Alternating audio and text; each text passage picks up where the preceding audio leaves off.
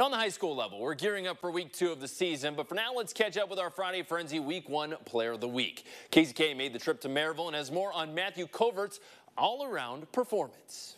I'm joined now by Matthew Covert, senior for Maryville High School. Now, you are our Pella Player of the Week because during week one, you had a fantastic performance 10 tackles, two for loss, one that turned into a safety and interception, a fumble recovery, and a touchdown. When you think back to all of that against Heritage on Friday night, which one are you the most proud of? Uh, the interception is my favorite. Just dropping back into coverage. I, always like it, getting an interception. It's one of my favorite things to do, and I happen to get it week one. Coming out and having such a dominant performance on week one, how good did that make you feel walking away on Friday night?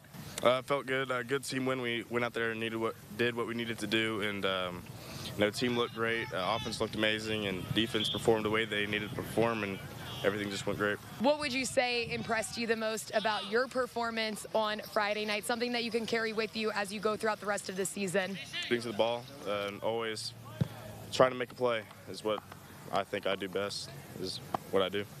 When you walked away from the field on Friday night, just kind of what were those emotions of starting that last first game of your senior year? Pre-game, I was like, it's last, last first home game the, for my senior season you know, emotions are high because you know we got to leave it, got to leave it with everything you got on the field, and I felt like I did that.